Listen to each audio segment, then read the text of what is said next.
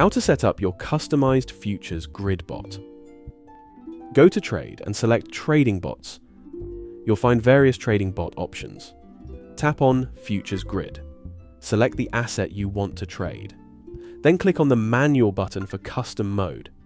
In Custom Mode, you can select from long, short, or neutral strategies.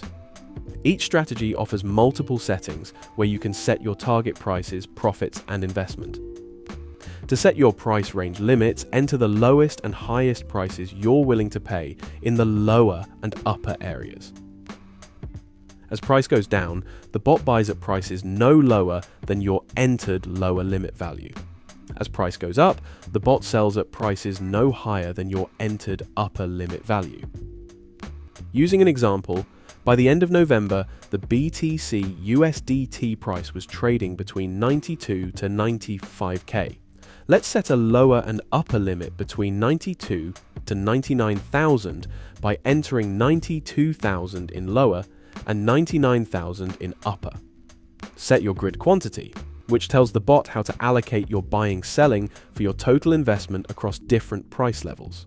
Setting a grid quantity allows you to execute your strategy across various prices. When you set your grid quantity, you'll see a grid appear on the chart. A green grid is the buying price levels. The red grid is the selling price levels. The bot will buy in the green grid and sell in the red grid.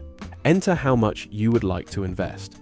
Lastly, click Create. You've now successfully set up your customized futures grid bot. To edit your bot, go to Bots in your whatever section that appears in and click on the three dots under Here you can edit the settings you use to create your bot.